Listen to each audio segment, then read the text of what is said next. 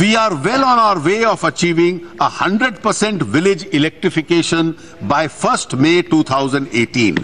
An increased allocation of rupees 4,814 crore has been proposed under the Deen Dayal Upadhyay Gram Jyoti Yojana for 2017 and 18.